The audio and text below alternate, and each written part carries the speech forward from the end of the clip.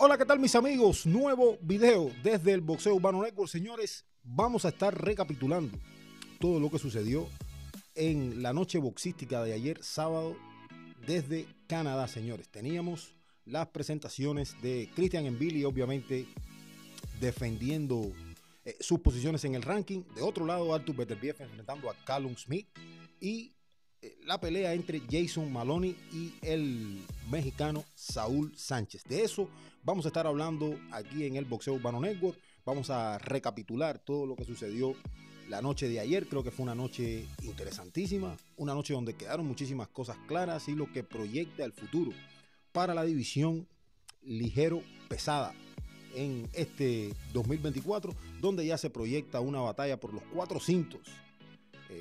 El de la Asociación Mundial de Boxeo que ostenta Dimitri Vivoli, obviamente los tres que defendió Artur Beterbiev ayer. Vamos a estar hablando de todo eso, vamos a meternos por dentro. Señores, eh, combinación de tres golpes, combinación de cuatro golpes. Suscríbanse, denle like al video, compartan los señores, comenten también, dejen sus consideraciones en el video porque vamos a estar hablando muchísimo de todo esto que nos gusta y nos apasiona. Eh, abriendo la parte estelar, de esta cartelera, o sea, la parte eh, televisada, la abrieron eh, Jason Maloney y el mexicano Saúl Sánchez por el título de peso gallo que ostenta Jason Maloney hizo su primera defensa, retuvo su corona de la Organización Mundial de Boxeo. En una guerra sin cuartel, se le abrió un corte a Maloney temprano en la pelea. Ambos peleadores tuvieron sus momentos. Ambos peleadores tuvieron sus momentos y definitivamente fue una batalla de clase mundial. Demostró Saúl Sánchez que es un peleador que aunque no había enfrentado una gran oposición ni se había mostrado tanto en televisión nacional, había peleado, eh, como se le llama, ¿no? A, a este tipo de peleadores, peleadores de clubes allá en el área de California, lo dio todo y logró meter en muchísimos problemas a Jason Maloney, sobre todo durante los primeros compases de la pelea. Fue una pelea bien pareja. Después de los primeros cuatro rounds yo la tenía empate. Después de los primeros ocho rounds yo tenía a Sánchez por un round arriba. Tanto fue así que ambas esquinas tuvieron muchísima urgencia entrando a los rounds de campeonato. Ambas esquinas le exigían a sus peleadores que era necesario llevarse eh, los rounds finales para poder cerrar bien la pelea para poder finalizar. Terminó Jason Maloney no solamente eh, ganando, sino también reteniendo, como yo les decía, ese título de la Organización Mundial de Boxeo. Eh, en las tarjetas, una tarjeta 116-112 para Jason Maloney, otra tarjeta 116-112 para Maloney y una tarjeta la, la vio empate, o sea, uno de los jueces la vio empate ante una gran fanaticada en el Videotron Center en Quebec, Canadá. Eh, más de 10 mil fanáticos, señores, se dieron cita para ver esta parte donde comenzó con la victoria de Jason Maloney sobre el mexicano Saúl eh, Sánchez. Yo te digo, a mí me pareció que pudo haber ganado Sánchez 115-113. Yo la vi empate. Yo eh, definitivamente vi ganar a Sánchez round 2, round 3. Después yo creo que ganó bien el 7, el 8, el 10 y el 11. Jason Maloney hizo las de cambio también. Yo creo que logró ajustar, fue una pelea de ajustes y de ambos peleadores yo creo que lo dieron todo. Como les decía, yo vi la pelea empate, pero pudo haber ido del lado del mexicano Saúl Sánchez, quien eh, se llevó sus palabras de elogio de parte de Jason Maloney cuando expresaba después de esa entrevista por pelea Jason Maloney, eh, es un guerrero. Eh, Saúl Sánchez, estoy orgulloso de ser el campeón de la Organización Mundial de Boxeo, haber retenido esa corona y yo creo que enfrentó una competición eh, tremenda Jason Maloney ayer, algo que antes de la pelea era un poco, nos traía un poco de dudas, ¿no? Si podía definitivamente Saúl Sánchez competir a más alto nivel, lo hizo y por poco termina capturando ese cinto de la Organización Mundial de Boxeo, cinto que eh, le ganó Jason Maloney en una pelea por el título vacante a Vincent Astrolabio después de que Naoya Inoue lo dejara vacante. Básicamente eso fue lo que sucedió en esa pelea abriendo la parte estelar de la cartelera entre Beterbiev y Smith.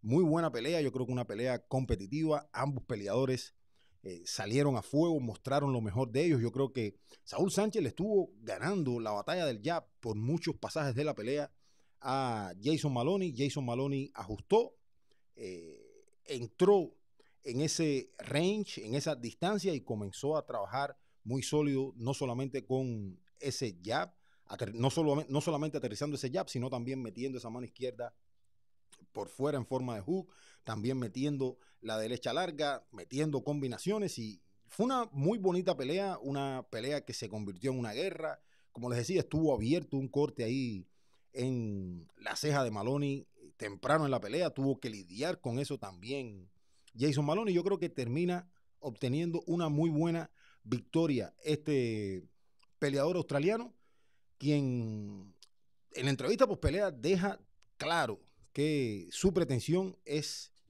defender allá en, en Australia contra una gran oposición, pero eso es lo que se viene en el futuro de Jason Maloney. Quiere ir a su casa, quiere defender, mueve su récord a 27 victorias con dos derrotas, 19 knockouts, un peleador de 33 años de edad, hermano gemelo de Andrew Maloney, quien estuvo en su esquina también. Yo creo que eh, ambas esquinas ayer, tanto Manny Robles como el primero en el rincón de Jason Maloney, creo que hicieron un gran trabajo. Fue una gran guerra lo que vimos en esta pelea abriendo la cartelera de Better Bief y Smith. Según los números de CompuBox, señores, según los números que nos mostró CompuBox, Saúl Sánchez hizo un gran trabajo. De verdad, eh, se vio muy bien. Eh, Saúl Sánchez, un gran trabajo. Eh, yo creo que la inconsistencia por ahí le pudo haber pasado un poquito de factura, pero se vio bastante bien Saúl Sánchez en ese sentido. Y según los números de CompuBox, terminó aterrizando Maloney 297 de 824 golpes para un 36%. Y vaya que sí, que tiraron muchísimo volumen ambos peleadores. 824 golpes en 12 rondas eh, para eh, Jason Maloney, 36%. No fue menos. Saúl Sánchez, quien tiró casi 900 golpes. Tiró 900 golpes. Eh, Saúl Sánchez, casi 900 golpes, 897, aterrizó 362 para el 40%. Eh, y fue una clara muestra de precisión del lado de Jason Maloney, eh, obviamente tirando menos, aterrizando más, pero a la vista de los jueces llevándose la victoria. Y en el caso de Saúl Sánchez, señores, mucho volumen, pero también muy buenos porcentajes de acierto, aterrizó casi el 40%. Y un dato interesante del lado de este mexicano, eh, Saúl Sánchez, quien vio detenida una racha de dos eh, victorias, pero, señores, en sus tres derrotas nunca ha sido derrotado, ni por nocaut ni por decisión unánime. Casi siempre pierde o por decisión dividida o por decisión mayoritaria. Es un rival bien complicado este Saúl Sánchez, complicado de derrotar y lo demostró, eh, eh, llevando metiendo en aguas profundas a Jason Maloney, quien tuvo que sacar lo mejor de él. Como les decía, Jason Maloney que quiere defender ante sus fanáticos australianos eh, allá en, Australia, allá donde es local, un Jason Maloney que ha recorrido muchísimos lugares en todo el mundo, ha peleado seis veces en los Estados Unidos, ha peleado en diferentes lugares y obviamente esta presentación en Canadá. Y un dato no menos interesante, yo creo que el público también tuvo la sensación de que mereció mejor suerte el mexicano Saúl Sánchez y al momento de la decisión, como les decía, dos tarjetas 116, 112 y una tarjeta 114, 114. Cuando se dio la decisión en la arena, señores, fue abuchada la decisión en favor de Jason Maloney. La verdad, a mí me dio empate, pudo haber ido del lado de Saúl Sánchez,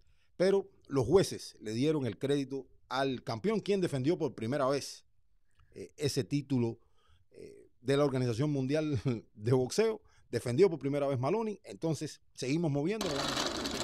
Pero en el Comain Event vimos a Christian Envili, señores. Christian Envili es un peleador que, a ver, de los fanáticos hardcore fans boxeo, bien conocido. Ahora, es un peleador que también está en los rankings como número uno por el Consejo Mundial de Boxeo y la Asociación Mundial de Boxeo, pero sabemos que está Saúl Canelo Álvarez campeón y cada uno de estos organismos tiene, en el caso de la AMB, David Morel como campeón regular y en el, por el Consejo Mundial de Boxeo David Benavides como campeón interino. Después viene Christian Envili, quien, como les decía, un, un contendiente del peso super mediano terminó dándole una paliza brutal al australiano Rohan Murdoch. Eh, la esquina del peleador australiano paró la pelea en el sexto capítulo. Esto es una pelea que estaba pactada a 10 rounds, metió las manos a placer Christian en Billy. Eh, pasó momentos de adversidad, le llegaron manos sólidas, sobre todo en el round número 4, donde logró reponerse y terminar metiendo manos durísimas sobre Rohan Murdoch, quien aguantó de todo. En el sexto round parecía que estaba teniendo un gran round Rohan Murdoch, estaba listo para detenerla en su rincón, se vio bastante bien, pero eh, en los compases finales del round número 6, señores, llegó en Billy de nuevo con esa andanada de golpes y la esquina decidió que, que era suficiente. Y las palabras textuales de la esquina de Rohan Murdoch fueron, al menos Hoy no más. Tienes otros días para boxear, o sea que la vida continúa, otro día te subes al ring, por hoy ha sido suficiente. En tanto, en Billy dejó claro que eh, quiere pelear con Saúl Canelo Álvarez, básicamente eso fue lo que dejó en la entrevista por pelea eh, Cristian en Billy, eh, autoproclamándose también como el futuro de la división. Yo creo que, yo creo que en una opción clara de no mencionar ni a David Morel ni a David Benavides, de una vez llama en Billy a Saúl Álvarez. Obviamente es el campeón, pero sabemos todos los fanáticos del boxeo cuál es la situación, cuál es el estatus eh, en donde están cada uno de los peleadores aquí. Obviamente en Billy está mirando a una lucha directa por el título.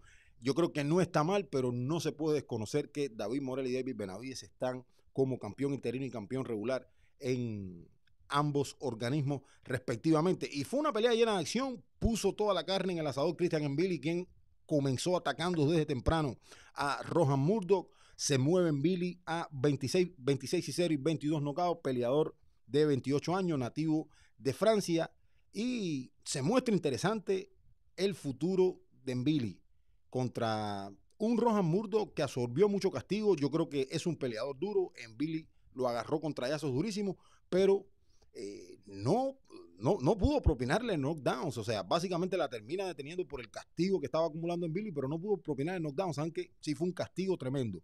Este Rohan Murdo perdió por tercera ocasión en su carrera, tiene 27 victorias, 19 knockouts, peleador de 31 años, quien, como le decía, tuvo sus momentos, le llegó con buenas manos en Billy, pero en Billy se mantuvo bien y a pie firme todo el tiempo, aguantó buenos trayazos a pie firme también. En el futuro en Billy, señores, si no es la pelea con Saúl Canelo Álvarez, creo que va a estar enfrentando rivales de este calibre. Hay una cosa clara, hay una cosa clara. Christian Envili es un peleador, el cual su mejor defensa es su ofensiva. Envili se concentra en atacar, en ser agresivo y deja muchísimos openings. Ahora, eso no quiere decir que va a ser un rival cómodo ni fácil para ninguno de los peleadores en esta división. Y sí pueden noquear en Billy y sí lo pueden meter en problemas, pero ¿qué tal en Billy aguanta a pie firme y comience a arriesgar y vaya hacia el frente y meta bombazos durísimos? Yo creo que la quijada en Billy yo la he visto a prueba en varias ocasiones, sobre todo en la pelea contra Carlos Góngora, donde recibió trayazos durísimos, incluso lo lastimaron, pero aguantó a pie firme y terminó ganando. Rohan Murdo, yo creo que no es un gran pegador, metió muy buenas manos, pero en Billy aguantó a pie firme. Ahora, el barraje ofensivo de Christian Billy es brutal. Entonces, yo creo que todo debiera pasar por cómo aguantaría en Billy las manos de estos grandes peleadores en la división de las 168 libras. Yo creo que en Billy es un peleador que ofensivamente es muy completo, pero deja muchos openings a la defensiva. Es un peleador que va bien al cuerpo, va bien arriba, varía bien su golpeo, tiene yo creo que un buen arsenal ofensivo. Ofensivo, tira buenos hooks, tira buenos upper, tira buenas manos por fuera, va al cuerpo, o sea, es un peleador ofensivamente bien completo. Eh, como les decía, su mayor eh, defensa es lo que puede mostrar ofensivamente Christian Billy. Ahora, ¿cómo aguantará las manos de estos peleadores? ¿Cómo estos peleadores aguantarán los trayazos Billy? Yo creo que eso es algo que hay que ver, pero por el momento se mira un peleador a seguir muy de cerca en esta división del peso supermediano porque creo que compite contra todos en Billy. Ahora, no estoy seguro, no estoy seguro por los flows que tiene su juego defensivo que pueda materializar victorias contra estos grandes peleadores. Ahora, de que va a salir a guerrear, de que le va a tener, de que le va a poner tremenda presión a estos peleadores, de eso también estoy seguro. Una presión a la cual probablemente estos peleadores no están acostumbrados desde hace algún tiempo por la oposición que han venido enfrentando. Yo creo que en Billy trae algo distinto a la mesa y es su presión y lo vas a tener que matar en la raya. Eso yo creo que hace más interesante el choque de Billy contra cualquiera de los peleadores que enfrente. Así de esa manera lo veo. En Billy, eh, señores, termina afianzándose, llama a Saúl Canelo Álvarez y eso es lo que se mira eh, en el futuro de Billy, quien ha hecho una gran casa en Canadá se veía lo, todos los fanáticos aupando muchísimo a Christian Billy. Eh, tiene una gran base de fanáticos. Ah, estaba Beterbiev ahí en la cartelera, pero yo creo que muchos fueron a ver a Christian Billy también. Yo creo que muchos fueron a ver a Christian Billy también. Eh, Christian Billy dejó notas interesantes o palabras interesantes después de la pelea. Eh, dijo, es un boxeador, es un guerrero, es un boxeador muy fuerte, dijo en Billy con respecto a Rohan Murdos, Murdo. Pero ya sabes, en mi caso, en mi corazón, dije que en un asalto más lo acabaría, pero su equipo terminó la pelea. O sea que estaba preparado en Billy para darle jaque mate en el 7 a Rohan Murdo, algo que definitivamente era muy probable. Eh, señores, según CompuBox, según CompuBox, Christian Billy conectó 236 de 505 golpes. Aterrizó el 47%. Murdoch, 89 de 358, 25%. En Billy lo superó en cada una de las rondas. En cada una de las rondas. Eh, tremendo. Aterrizó yo creo que en golpes de poder casi el 60% en Billy. En golpes totales el 47%. Era un blanco muy fácil. Rohan Murdo también, un peleador bien parado que iba sobre las cuerdas cuando en Billy le metía esa presión endemoniada. Pero de cualquier manera, trae algo distinto a la mesa Christian en Billy, algo con lo que van a tener que lidiar eh, estos peleadores que están altos clasificados y campeones en la división de peso supermediano. Y no estoy diciendo que Billy se los gane, pero en Billy trae algo distinto a la mesa en cuanto a presión, fortaleza estamina, todos los rounds sale a rifársela y a eso hay que, a eso hay que darle crédito, señores. A eso hay que darle crédito. Pero eh, vamos a ver cómo se desarrolla todo este 3x9 que hay en la división de las 168 libras, donde eh, no se sabe hacia dónde va a ir Canelo en su primera pelea del 2024.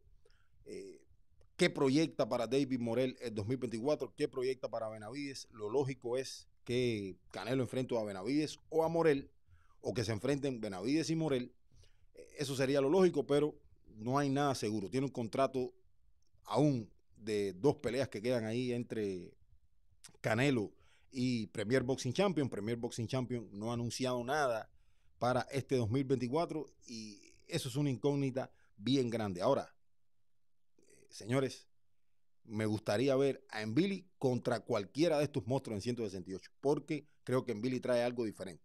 Creo que Envili trae algo diferente, sobre todo desde el punto de vista ofensivo. Es un peleador que te va a salir a atacar, va a ir por ti desde los comienzos de la pelea. Entonces, ahí es donde estos peleadores debieran sacar la casta. Yo creo que cualquiera de los que enfrenten Billy tiene que ir bien preparado, tiene que ir con el, con la, con el tanque lleno en todo momento, porque este Christian Billy eh, va a salir a rifársela contra cualquiera, al menos así lo veo. Gran fanaticada ahí.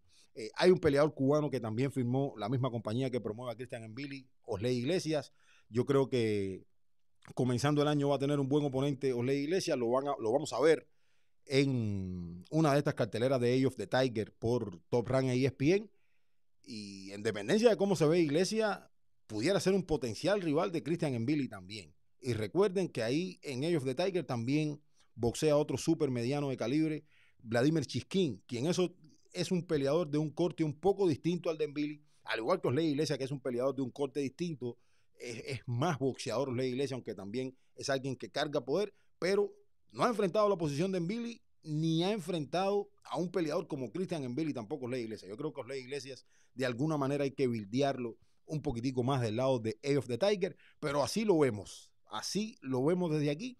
Eh, vamos a ver qué marca el futuro para ambos peleadores. En Billy dijo que quería Canelo, se olvidó de Morel y de Benavides, pero todos sabemos cómo está la ecuación en 168 libras. Señores, y en el main event, en el main event, eh, vimos una destrucción quirúrgica de Arthur Beterbiev sobre Callum Smith.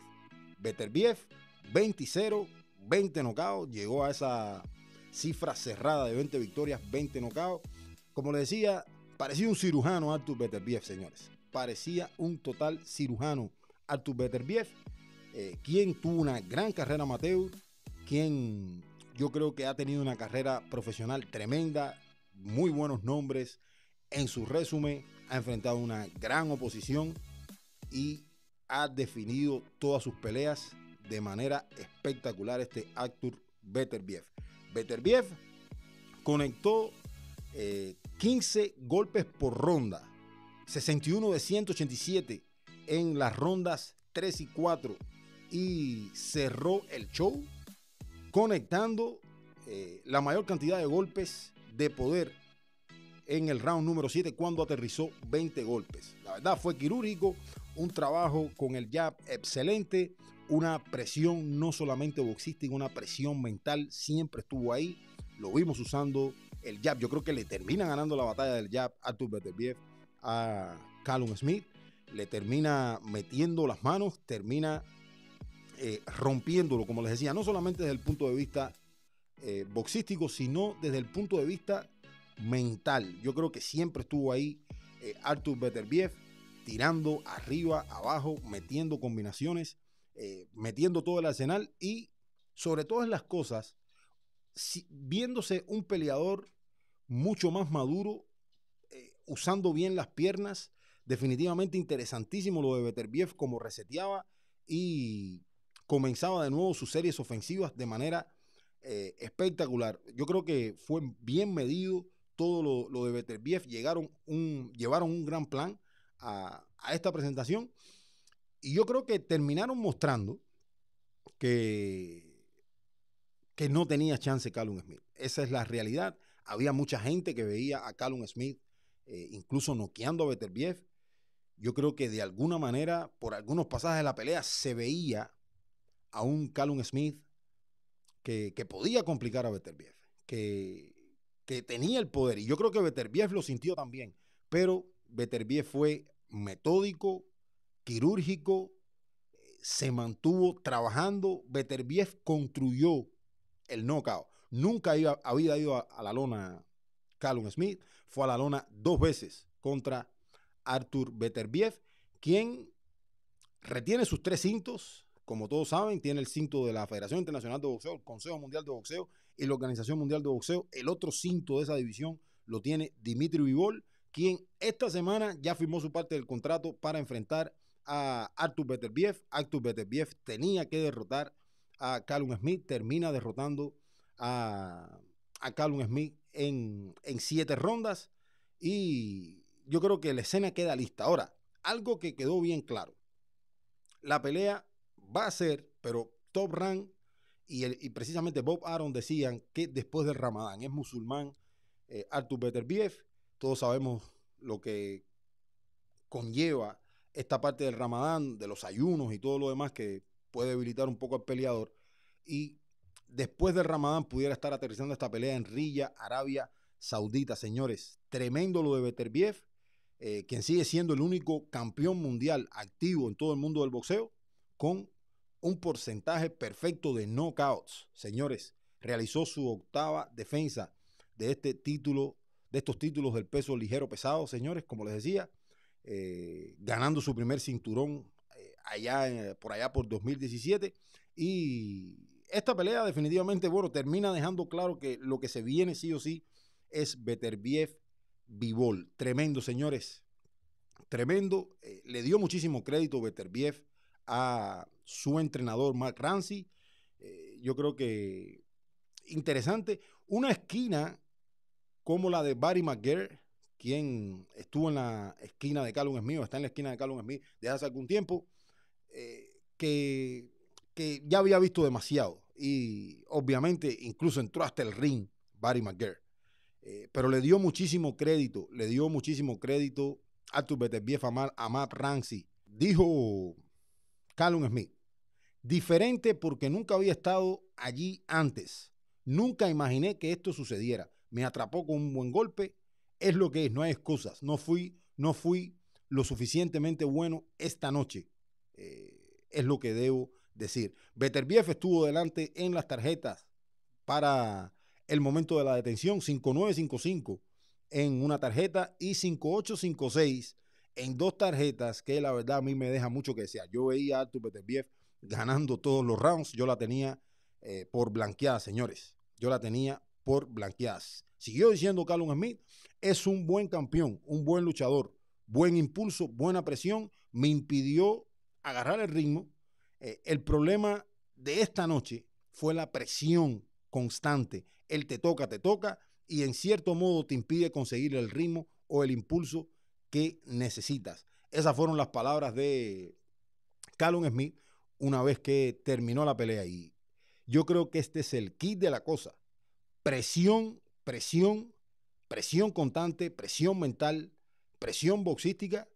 Él te toca, te toca, te impide conseguir el ritmo o agarrar el impulso. Pero más que eso, yo diría que vimos un, un Beterbiev usando bien eh, su jab, consistente en extremo. Yo creo que ahí eh, esa es la clave de la victoria de Beterbiev ayer. No solamente la presión, yo creo que la clave pasa por el jab.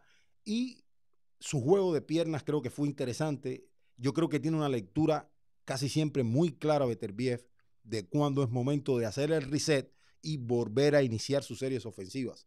Además, yo creo que sintió también de alguna manera el poder de un Callum Smith que se quedó corto, se quedó corto, eh, venía con un bastante buen impulso, obviamente nosotros lo decíamos de aquí del Boxeo Urbano Network, que no había enfrentado a peleadores de calibre mundial en las 175 libras, aunque había logrado victorias interesantes y por nocaut, pero Beterbiev es harina de otro costal, señores. Beterbiev es harina de otro costal seguramente y todo queda listo, señores. Todo queda listo. Eh, el que tenía alguna duda sobre la estamina, sobre cómo se iba a ver, ver Beterbiev, yo tenía la duda de la edad.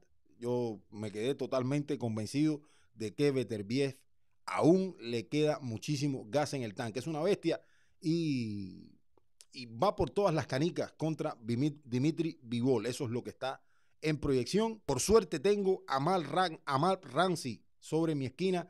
Eh, él es el encargado de que nosotros tengamos no este éxito. Nuestro equipo también trabaja duro conmigo. Quizás por eso también eh, tenemos tanto éxito. No soy solo yo, no es suerte. Teníamos un par de estrategias, siempre tenemos más de una. Necesitamos estar preparados para varias estrategias me dio una buena pelea, se mantuvo fuerte, él es bueno. Gracias a él, hoy la suerte está de mi lado, dijo Beterbiev, quien le dio de alguna manera el crédito a Callum Smith. Si nosotros miramos, Beterbiev atacó a Smith temprano, porque habíamos visto en otras, en otras peleas un Beterbiev que le tomaba algún tiempo ajustar y encontrar el camino y comenzar a, ser sólido. Pero ayer vimos un Beterbiev que atacó temprano, o sea, no dejó a Callum Smith eh, eh, estar en, estar en su juego. Y yo creo que de alguna manera eso hay que tenerlo en cuenta. No, no lo dejó respirar incluso desde que comenzó la pelea. En ese primer round aterrizó 20 por solo 6 Callum Smith, según las estadísticas de CompuBox. Un Beterbiev de 38 años, quien va a cumplir 39, fue bien preciso con el jab. Eh, yo creo que fue espectacular el trabajo de Artur Beterbiev ayer. Eh, señores, 182 de 471 para el 39% de Artur Beterbiev. Eh, Callum Smith solo conectó 59 de 366 para un 16%. Pero algo interesante aquí, algo interesante aquí, eh, es cómo Beterbiev lo iba superando ronda a ronda en cuanto a golpes conectados, a golpes aterrizados. Y eh, por amplios márgenes también. En el quinto round, 25 a 7. En el sexto round, 32 a 6. Y cuando cerró en el round 7, 29 a 5. O sea que estaba sacando mucha ventaja Beterbiev, estaba aterrizando con manos durísimas y llevó a Callum Smith a la lona en un par de ocasiones. Un peleador que nunca había ido a la lona. Todo queda listo, señores. Todo queda listo para ver a Artur Beterbiev contra Dimitri Vivol en Riyadh, Arabia Saudita, probablemente después del Ramadán. Vivol, también un peleador invicto, 22 y 0, 11 nocaut, también de 33 años de edad. Como les decía, Beterbiev 38 para 39, un duelo interesante, dos peleadores, pudiéramos llamarlo, distintos, pero un Beterbiev que su poder mete miedo, su poder mete miedo.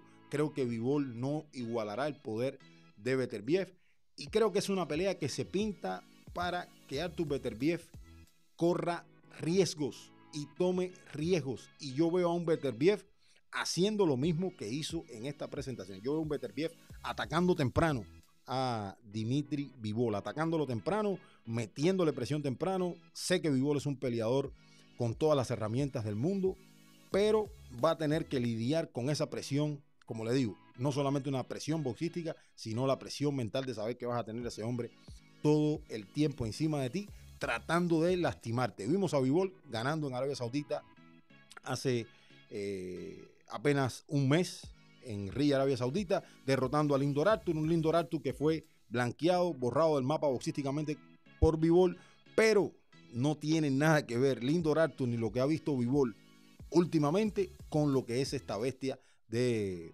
Artur Beterbiev. Señores, victorias de Jason Maloney, ajustada. Yo la vi empate, pudo haber ido del, lado de Saúl Sánchez, pero eh, los jueces le terminan dando el crédito a Jason Maloney, eh, reteniendo su corona de la Organización Mundial de Boxeo. Gana Christian Embili, pide a Canelo, se olvida de Morel y Benavides.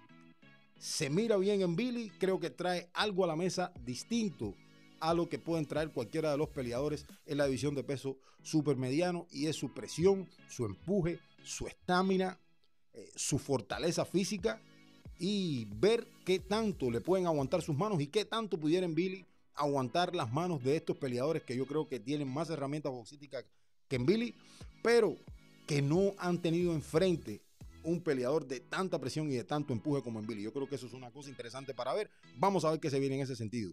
Y Beterbiev demolió a Callum Smith en siete rounds. No solamente que lo demolió, lo llevó a la lona eh, por dos veces. Un peleador que nunca había ido a la lona. 20-0, 20 knockouts, el único peleador activo con knockouts en todas sus presentaciones. Octava defensa de su título del peso ligero pesado para Artur Beterbiev, una tremenda bestia con proyección a enfrentar a Dimitri Vivol el próximo, eh, en los próximos meses en Arabia Saudita en una pelea por el título indiscutido del peso ligero pesado, señores. Pero que se hayan disfrutado el video, señores. Combinación ahora de cuatro golpes. Eh, denle like, suscríbanse, comenten y compartan el video, señores. Sí, compartan el video. Estamos aquí en el Boxeo Urbano Network. No quería que pasara el fin de semana sin dejarles por aquí qué fue lo que sucedió en Quebec, Canadá, en una noche fría ante una fanaticada de más de 10.000 espectadores eh, para ver cómo Artur Beterbiev retenía sus coronas de la, asociación, de la Organización Mundial de Boxeo, la Federación Internacional de Boxeo y el Consejo Mundial de Boxeo ante un muy buen peleador que venía con un gran impulso en la división ligero pesada como lo era Callum Smith, pero obviamente eh, se encontró con este muro de contención y un gran boxeador que es Artur Beterbiev. Yo soy Anderson Pérez, señores. Este es el Boxeo Urbano, Urbano Network. Suscríbanse, denle like y seguro mañana, mañana lunes, regresamos al show con mi hermano César Seda, obviamente recapitulando y hablando sobre todo esto.